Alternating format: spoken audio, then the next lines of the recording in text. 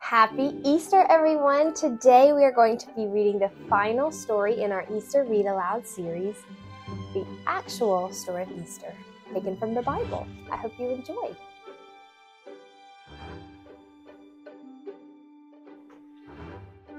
Long ago, in a land called Judea, a man named Jesus taught people about God's love for them.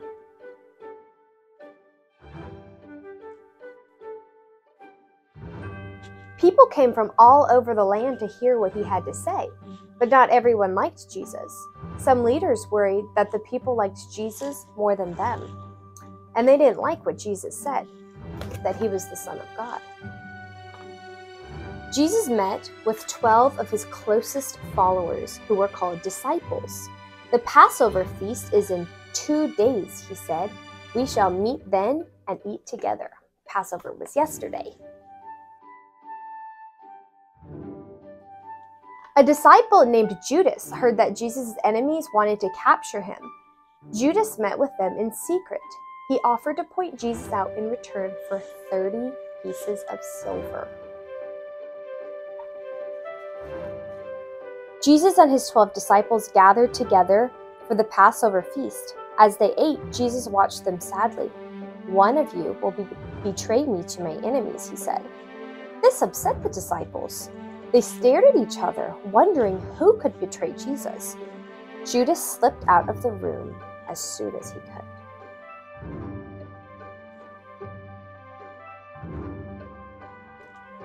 Jesus asked for God's blessing on the bread, then broke it and gave it to the disciples. Take this, for it is my body which I am giving up for you, he said. Take it and eat.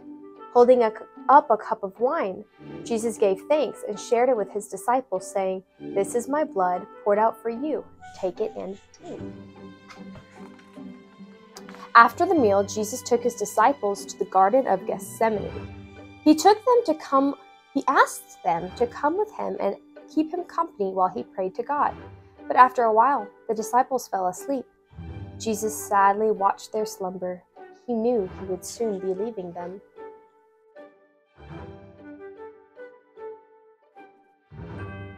Suddenly, Judas arrived with a large band of men. He went up to Jesus and kissed him. That was the signal Jesus' enemies were waiting for. They surrendered Jesus, surrounded Jesus, and led him away. Terrified, the disciples fled. When Judas saw this, he regretted what he had done. Judas tried to return the money Jesus' enemies had paid him, but it was too late.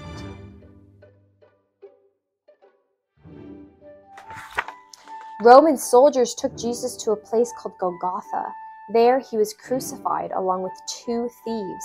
Before he died, Jesus asked God to forgive those who had betrayed him. A man named Joseph of Arimathea asked for permission to bury Jesus. He tenderly wrapped the body of Jesus in fine white linen and laid him in a tomb carved into a rock. Two grieving women, Mary Magdalene and Jesus' mother Mary, watched as Joseph closed the entrance with a large stone.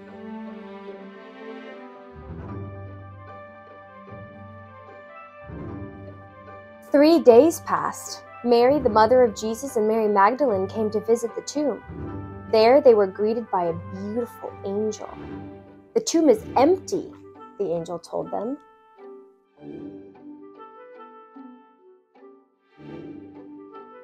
Jesus has risen to heaven as he said he would. You must travel to Galilee where you'll find him. As the two women walked, they were met by Jesus. He greeted them, saying, All hail! Tell my brother disciples to go to Galilee. They will see me there. Jesus met his disciples in Galilee. He spoke to them, saying, Go among the nations and teach my words Baptize the people in the name of the Father, Son, and Holy Spirit.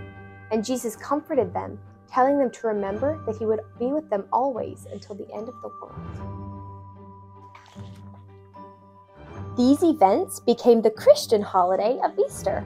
The final weeks of Jesus' life came to be known as Holy Week, which begins with Palm Sunday, was last week. On that day, the Sunday before Easter, Jesus had entered Jerusalem. People greeted him waving palm branches. It is now a tradition for worshippers to receive palm branches or little crosses made of palm fronds in church on Palm Sunday.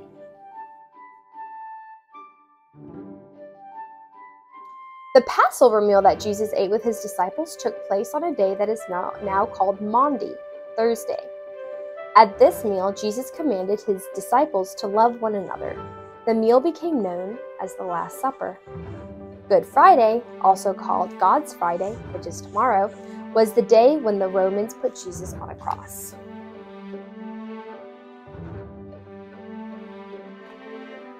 The cross became a symbol of Christianity, and the followers of Jesus came to be called Christians. Easter falls on a Sunday because that was the day Jesus was resurrected from the dead. Jesus' ascent to heaven 40 days later is called the Ascension.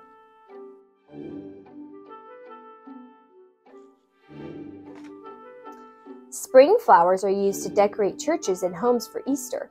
The favorite and most beloved of Easter plants is the beautiful white Madonna lily.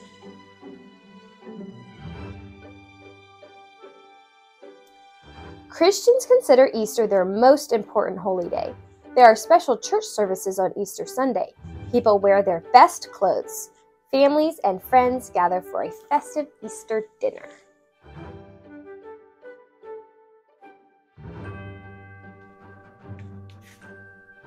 In many cultures, eggs are a symbol of life.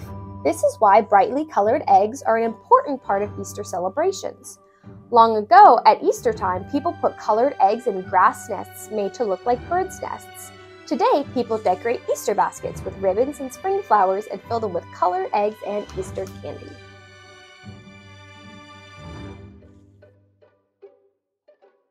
In the country of Ukraine, women made beautifully decorated eggs called pisanki. The word means written eggs. Pisanki are often presented to relatives and friends. They are treasured gifts kept for many years.